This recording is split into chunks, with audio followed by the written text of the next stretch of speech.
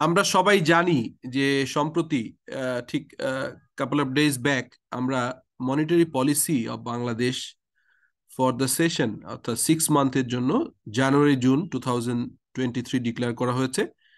আমরা গত কয়েক বছর ধরে দেখলাম যে বছরে একবার মনিটারি পলিসি ডিক্লেয়ার করা হচ্ছে। অতীতে এটি ছয় মাস পরে করা হতো এবং আমরা জানি যে আইএমএফ সহ অনেকেরই একটা রিকমেন্ডেশন ছিল যে সিক্স মান্থ পর পর করলে এটা better for better transparency and uh, guidance from the Central Bank of Bangladesh. এবং একই সঙ্গে সঙ্গে আমরা এটাও জানি যে আসলে অনেক দেশ তিন মাস পর পরও তাদের সেন্ট্রাল ব্যাংক অথবা তাদের যে কম্পিটেন্ট অথরিটি তারা মনিটারি পলিসি তিন মাস পর অন্তর করে এরকম এক্সাম্পল আছে। সো এটি বলতে গেলে হোয়াট ইজ মনিটারি পলিসি একটু বলে নিব বিকজ আমার স্টুডেন্ট বা আমাকে যারা ফলো করেন তারা চান যে ইকোনমিক ইস্যুস অ্যাকাউন্টিং ইস্যুস এবং কন্টেম্পোরারি ইস্যু গুলোর ব্যাপারে আমার কাছ থেকে কিছু শুনতে। সো সেই জন্যই আমি একটু সিম্পলিফাইড করে কথা বলার চেষ্টা করি। আমি যেহেতু নিজে একজন ছাত্র অ্যাকাউন্টিং এবং সব বিষয়েই আমার আগ্রহটা বেশি specially economic issues stock market country economy এবং অবভিয়াসলি অ্যাকাউন্টিং আইএফআরএস এই বিষয়গুলো আমার নিজে, যেহেতু আমি কন্টিনিউসলি এডুকেশন করি, সেইটাই আসলে আমার যারা, আমাকে যারা ফলো করেন, প্রায় চব্বিশ হাজার ইউটিউব ফলোয়ার আমার সাবস্ক্রাইবার তাদের জন্যই করা। তো আর্থিক নীতি বা এর উদ্দেশ্য কি সেটিও একটু ডিসকাস করব। সেখানে হচ্ছে যে আমরা যদি দেখি, সেটা হচ্ছে হোয়াট ইজ মনিটারি পলিসি তো define monetary policy it refer to the financial policies adopted by the monetary authority of a country. Such as for Bangladesh, the Central Bank of Bangladesh, অর্থাৎ Bangladesh bank to achieve the country's economic goals অর্থাৎ একটা country economic গোল achieve করার জন্য তার central bank বা ওই authority যারা এই মনিটারি পলিসি ঠিক করে ডিক্লেয়ার করে, তাদের এটা ডিক্লেয়ার করে এবং তারা এটা অ্যাডাপ্ট করে to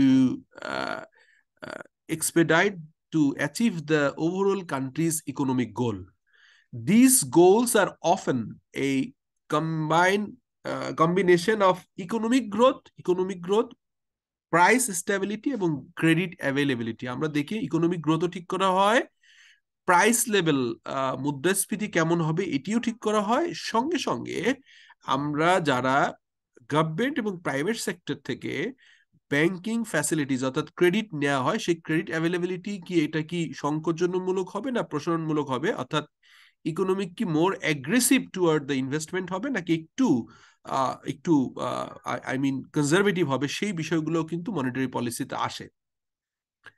Monetary policies are generally categorise into expansionary আমরা যেটা বললাম, আর contractionary expansionary policies are used to accelerate the economy by making capital easy easily accessible অর্থাৎ আপনি চাইলে ক্যাপিটাল ইনভেস্টমেন্ট করবেন এবং আপনি ওয়ার্কিং ক্যাপিটাল তো পাবেনই, সঙ্গে সঙ্গে ইনভেস্টমেন্টের জন্য ফান্ডের অ্যাভেলেবিলিটি হবে ইনভেস্টমেন্টকে মোর এনকারেজ করা হবে, এই ধরনের পলিসিকে এই ধরনের মনিটারি পলিসিকে এক্সপ্যানশনারি বলা হয় যেটাকে আমরা আমরাকে বলি? প্রসারণমূলক।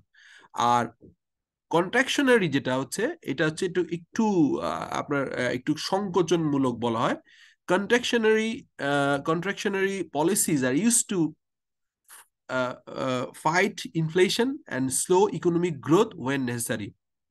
তো আমরা স্বাভাবিকভাবেই কমন সেন্স থেকে বুঝতে পারি যে এইবারের যে পলিসিটা যেটা হচ্ছে মনিটারি পলিসি এটা স্বাভাবিকভাবেই কন্ট্রাকশনারি হওয়াটাই যৌক্তিক ছিল। বা কেউ কেউ বলছেন যে গ্লোবাল রিসেশন রাশিয়া, ইউক্রেন যুদ্ধের পরেও আমাদের ইকোনমিক যেমন আমরা কোভিড সময় খুব ভালো করছিলাম, সেই অর্থে আরেকটু ওপেন আরেকটু এক্সপ্যানশনারি হতে পারতো। রেদার অনেকটাই কন্ট্রাকশনারি হয়েছে। এটা নিয়ে ডিবেট আছে বাট আমি ওই বিষয়ে কোনো মতামত আপাতত দিব না। আমি এটার ফ্যাক্টটা তুলে ধরবো। প্রয়োজনে এটা নিয়ে আসলে ভালো মন্দ নিয়ে পরবর্তীকালে আরেকটা ভিডিও বানানো যাবে যদি আপনারা আমার কাছ থেকে শুনতে চান both expansionary and contractionary policies are needed for the long term health of any country of an country so is very important. Now, monetary policy state, uh, statement যেটা হচ্ছে এমপিএস বলা হয় জানুয়ারি টু থাউজেন্ড টোয়েন্টি থ্রিতে আমরা declare করা হলো for the upcoming মানে জানুয়ারি এবং জুন পর্যন্ত, এই ছয় মাসের জন্য যে মনিটারি পলিসি স্টেটমেন্ট দেওয়া হয়েছে, তার কিছুটা খুবই ছোট অংশ একটা সামারি আমি দিচ্ছি। আপনারা যদি দেখতে চান, আমার কাছে ডাউনলোড করা আছে বাংলাদেশ সেন্ট্রাল ব্যাংক অর্থাৎ বাংলাদেশ ব্যাংকের ওয়েবসাইটে এই ডিটেইলটা দেওয়া আছে, আপনারা ওখান থেকেও দেখতে পারবেন। Bangladesh bank remove deposit rate floor অর্থাৎ আমরা যে নয় ছয়ের যে গল্প একদিন শুনতাম six percent should be the deposit highest rate এটি উঠিয়ে দেওয়া হয়েছে এবং লেন্ডিং এর ক্ষেত্রে অর্থাৎ ব্যাংকগুলো যে ধার নিতে পারবে, যে সিক্স পার্সেন্টে নেওয়ার কথা, সেটি উঠিয়ে দেওয়া হয়েছে। অর্থাৎ এখন আমাদেরকে যারা ডিপোজিটার ব্যাংকে তারা নট নেসেসারি যে উইদিন সিক্স পার্সেন্টই থাকতে হবে। It may be six and half seven may be depend depend on the demand supply of money অন্য ইস্যুতে আপনারা যারা ইন্ডাস্ট্রিয়াল লোন নিতেন, তাদের জন্য আসলে যেটা নাইন পার্সেন্টের ক্যাপ ছিল, আমরা অনেকেই সাড়ে সাত সাত, সাড়ে সাত, আট, নয়ের ভিতর ছিল, সেটি এখন বলা হচ্ছে যে নয় থেকে বারো পর্যন্ত। অর্থাৎ ওভারঅল একটা থ্রি থ্রি পয়েন্টের মতো একটা ফ্লেক্সিবিলিটি ব্যাংকের এন্ড থেকে দেওয়া হয়েছে।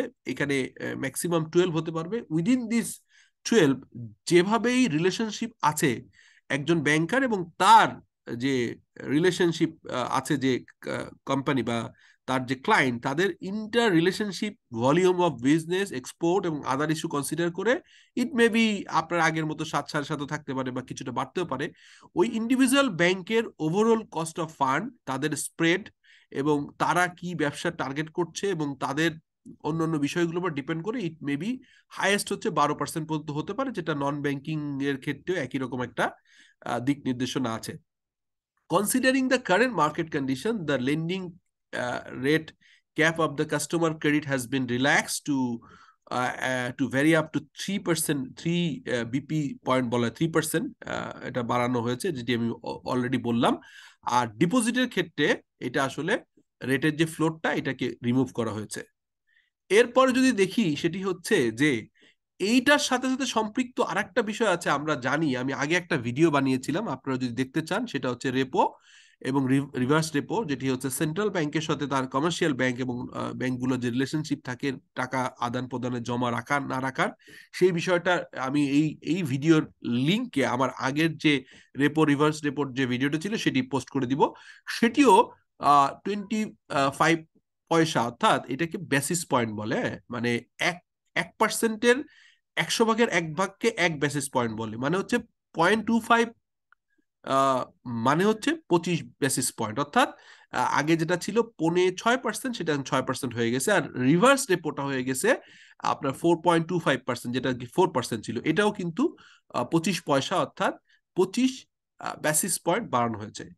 ইনফ্লেশন টার্গেট সেট করা হয়েছে সেভেন পয়েন্ট ফাইভ পার্সেন্ট যেটি আগে টার্গেট ছিল সিক্স পয়েন্ট থ্রি আমরা যখন বাজেট নিয়ে আমি ডিসকাস করছিলাম, তখন আপনার নিশ্চয়ই মনে আছে যে অ্যানুয়াল টার্গেট ছিল for the financial year two thousand twenty two two twenty three অর্থাৎ June July two thousand twenty two থেকে June two thousand twenty three পর্যন্ত এটা সিক্স পয়েন্ট থ্রি ছিল, যেটিকে সেভেন পয়েন্ট ফাইভে বাড়ানো হয়েছে ইনফ্লেশন কারণ, এর কারণ আছে অ্যাকচুয়ালি আমরা দেখতে পাচ্ছি যে দুই হাজার বাইশের ডিসেম্বরে এটি অ্যাকচুয়াল ছিল eight point seven one percent এবং যেটি দুই হাজার জুনে ছিল seven point five six percent logical কারণে, যৌক্তিক কারণে সেই সিক্স পয়েন্ট থ্রি আর রাখা হয়নি, এটি অনেকটা রেশনালাইজ করে seven point five percent but still এই সেভেন পয়েন্ট ফাইভ পার্সেন্ট যদি মেনটেন করতে পারে আমাদের economy that will be a good thing মানে আমার ব্যক্তিগত অভিমত।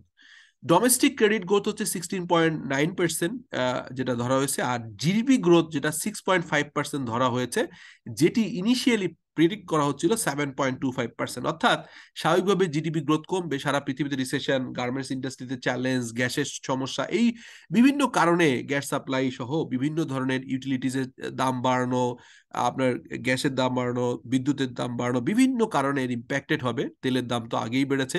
সো যেটিকে প্রজেক্ট করা হচ্ছিল seven point two five percent যেটি এখন কারেন্টলি ধরা হচ্ছে যে রিভাইজ টার্গেট নেওয়া হয়েছে six point five percent GDP যেটি ইন্ডিয়ান সাবকন্টিনেন্টের ভিতরে এখনও অত খারাপ না বাট ইন্ডিয়ার এত বড় ইকোনমিতে আমরা দেখেছি যে কোভিডের পরে তারা আবার ঘুরে দাঁড়িয়ে অনেক বেটার অবস্থানে গেছে। আর আমরা কোভিডের থেকে একটু পিছিয়ে গেছি। কোভিড পিরিয়ডে আমাদের জিডিপি ভালো ছিল। তো এরপরে ফরেক্স রিজার্ভ যেটি ইম্পর্টেন্ট এটি সবচেয়ে বেশি কথা হয় যে ফরেন কারেন্সি রিজার্ভ যেটা হচ্ছে thirty three point eight billion হয়েছে ডিসেম্বর দুই হাজার বাইশে। যেটি আপনার ঠিক ছয় মাস আগে, জুন দুই হাজার বাইশে ছিল forty one point eight billion so এখানে আমরা দেখতে পাচ্ছি যে বেশ কিছু প্রায় আপনার নয় বিলিয়ন বিলিয়ন ইউএসডি কমে গেছে। একই সঙ্গে সঙ্গে import remittance sorry export import এবং রেমিটেন্স এই তিনটির গ্রোথগুলি দেখি। এক্সপোর্টের গ্রোথ হচ্ছে ten point five eight percent ইম্পোর্টের growth degrowth হয়েছে টু পয়েন্ট টু পার্সেন্ট এটা গুড যে আপনার গ্র্যাজুয়ালি আপনার ইম্পোর্টেড ইম্পোর্ট কমানো হয়েছে ফলে রিজার্ভের উপরে হয়তো কম্পারেটিভলি কম প্রেশার পড়বে। আর আমরা রেমিটেন্স গ্রোথ দেখছি two point four eight percent যেটি আসলে আরও বাড়া দরকার। এই ব্যাপারে কিছু মেজর নিশ্চয়ই সেন্ট্রাল ব্যাংক অফ বাংলাদেশ এবং বাংলাদেশের পলিসি মেকাররা নিচ্ছেন বা মিনিস্ট্রি অফ ফাইন্যান্স বা অন্যান্য রিলেটেড মিনিস্ট্রিগুলো একটা কোঅর্ডিনেটিং করে এই জায়গাটাতে কীভাবে আরও বেশি অফিসিয়াল চ্যানেলে রেমিটেন্স আনা যায়, সেই ব্যাপারে কার্যকরী ভূমিকা নিবে বলে আমরা আশা করি। Bangladesh taka depreciated sharply by eleven point three percent which is very মানে ব্যাড ইন্ডিকেশন যে আমরা ডিফ্লেশন আমাদের টাকার ভ্যালু হচ্ছে প্রায় সাড়ে এগারো পার্সেন্ট কমে গেছে। কলমানি রেট যেটা হয়েছে, যে কলমানি রেটটা হচ্ছে যেটা five point eight one percent হয়েছে, যেটি ডিসেম্বর দুই হাজার বাইশে ছিল four point two four two four point four two percent এই কলমানিটা হচ্ছে inter bank short term borrowing যেটা কল বেসিসে ফেরত চাওয়া যায় এটা একটা ইন্ডিকেশন যে যখন ফোর পয়েন্ট টু থেকে five point eight five eight one percent হয়েছে তার মানে হচ্ছে যে ইন্টার ব্যাংক বড়োইং রেটটা বেড়ে গেছে তার মানে হচ্ছে ওভারঅল আমাদের দেশে ইন্টারেস্ট রেট বাড়বে এই ইন্ডিকেশন আগে থেকে ছিল। So these are the basic very basic discussion about the monetary policy for the uh, period of January to June 2023 এবং সেই সঙ্গে সঙ্গে বেসিক অফ মনিটারি পলিসি কিছু ইস্যু নিয়ে ডিসকাস করলাম। এটি যদি ভালো লাগে কমেন্ট করেন। I will make I will try to make such kind of video once again for you thank